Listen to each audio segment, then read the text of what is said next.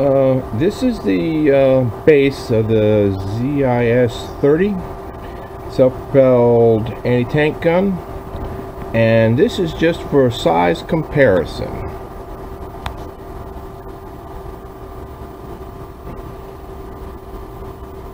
It's tiny. I mean very tiny.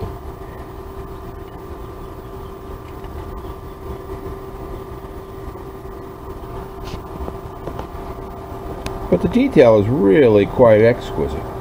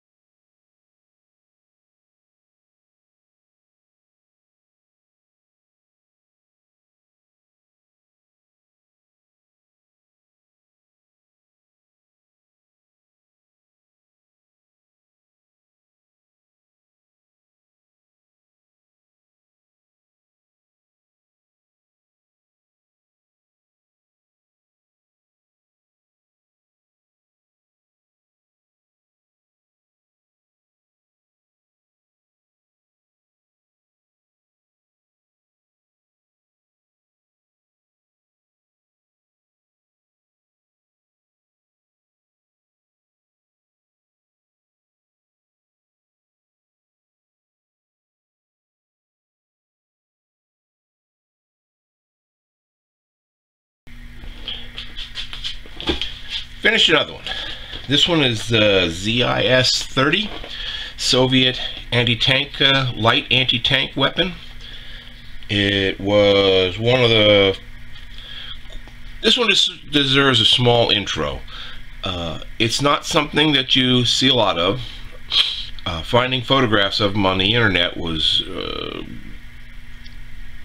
a chore and even then I could only come up with a couple that were decent and none that showed an extensive amount of extra detail. Uh, it's a Hobby Boss kit and therefore it is pretty well detailed unto itself but there were a couple things I, I found in a photograph that uh, I wanted to add and did.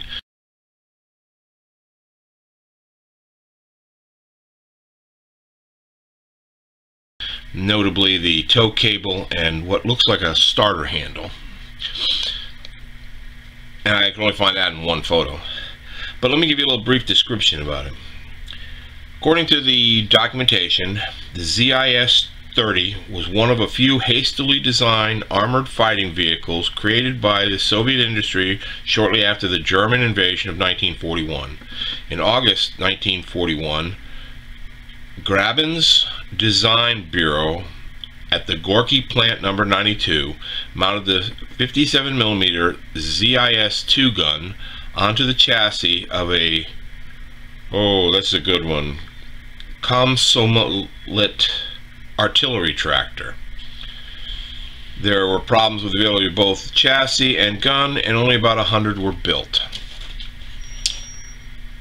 Um, it was a it was a fun build. It was, it's tiny. Oh my gosh. The, the vehicle itself measures just under four inches from the back fender to the front. Uh, while the gun from the back to the front measures is just over five inches. Uh, not much bigger in size than the 148th. Uh, actually, I think the 148th Sherman I built last is probably larger than this. Uh, from my understanding, they also used it as a troop transport. The kit came with enough parts that I probably could have built that instead. Basically, they just mounted uh, seats on the sides and could probably carry, I would guess, about six armed combat troops. The only protection, however, was just for the driver and co-driver. Uh, Link and Length tracks. Um, photo etch came with it. Uh, if you're looking for quirky and an interesting looking vehicle, uh, this is definitely one you should consider. Thanks for watching.